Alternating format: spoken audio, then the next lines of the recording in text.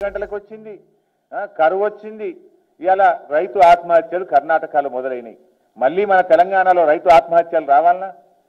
ఇలా కేసీ అంతకుముందు కేసీఆర్ గారు రాకముందు తెలంగాణలో కూడా గత కాంగ్రెస్ ప్రభుత్వ హయాంలో దేశంలోనే అతి ఎక్కువ రైతు ఆత్మహత్యలు తెలంగాణలో ఉండేవి. కానీ పదేళ్ళ కేసీఆర్ పాలనలో ఇలా రైతు ఆత్మహత్యలు లేకుండా ఈ తెలంగాణను అభివృద్ధిలో ముందుకు తీసుకుపోయింది రైతుకే తిరుగు డబ్బులు అందించే రైతు బంధు సృష్టికర్త ఇవాళ కేసీఆర్. ఇవాళ కర్ణాటకలో ఏమైంది? రైతు బంధు బంద్ అయింది. కరెంటు బంద్ అయింది. రైతు ఆత్మహత్యలు చాలా అయినాయి. మళ్ళా మన తెలంగాణ కావాలన్నా ఇవాళ రైతు లోకం కూడా ఆలోచించాలి. ఈ కాంగ్రెస్ పార్టీది ఎట్లుంటుందంటే ఒక్కసారి one chance please one chance please అని అడుగుతారు. ఒక్కసారి ఓటేయమంటారు. గెలిచిన తర్వాత ఎక్స్క్యూజ్ మీ ప్లీజ్ అంటారు. గెలిచేదాకా వన్ ఛాన్స్ గెలిచినాక ఎక్స్క్యూజ్ ప్లీజ్ ఇది కాంగ్రెస్ పార్టీ ధోరణి. అంటే కాంగ్రెస్ సర్కారు వైఫల్యానికి ఇవాళ ప్రధాన బాధితులు ఎవరంటే రైతులు ఎస్సీలు బీసీలు ఎస్టీలు వీళ్ళే ఇవాళ ప్రధాన బాధితులు. ఎందుకంటే ఇవాళ రైతులకు నీళ్ళు లేవు కరెంటు లేవు. ఇవాళ ఎస్సీ ఎస్టీ బీసీ పిల్లల స్కాలర్షిప్ల్లో కోతలు పెట్టినారు. పేద వర్గాలు ఇవాళ పరేషాన్ అవుతున్నటువంటి పరిస్థితి ఉంది.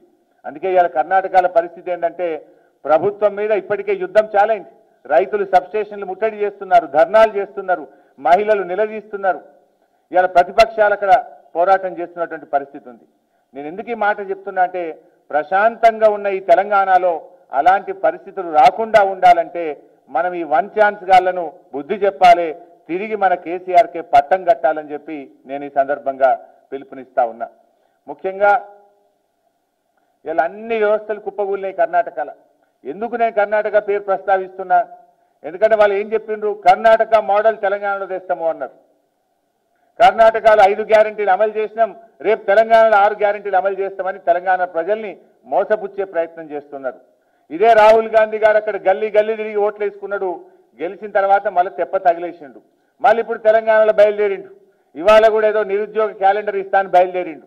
అంటే ఇది తెలంగాణ ప్రజల్ని మభ్యపెట్టేటువంటి ఒక కుట్ర. ఎందుకంటే నిజంగా మీరు చేసేదే నిజమైతే కర్ణాటకలు ఎందుకు చేయలేకపోయినరు? కొత్త పథకాలు పక్కన పెట్టి ఉన్న పథకాలను కోతలు పెడుతున్నారు ఉన్న కరెంటును ఊడగొట్టిండ్రు. అందువల్ల రేపు తెలంగాణ ప్రజలకు అలాంటి పరిస్థితి రాకుండా ఉండాలనే తెలంగాణ ప్రజలను ఇవాళ మేము అర్థం చేయించేటువంటి ప్రయత్నం చేస్తూ ఉన్నాం. కర్ణాటకలో అన్ని వ్యవస్థలు కుప్పకూలినాయి. పరిపాలన పడకేసింది. అభివృద్ధి ఆగిపోయింది. సంక్షేమానికి సమాధి కట్టింది కాంగ్రెస్ పార్టీ. ఆరు నెలల క్రితం చేసిన తప్పుకు ఇవాళ అనుక్షణం కర్ణాటక ప్రజలు బాధపడతా ఉన్నారు.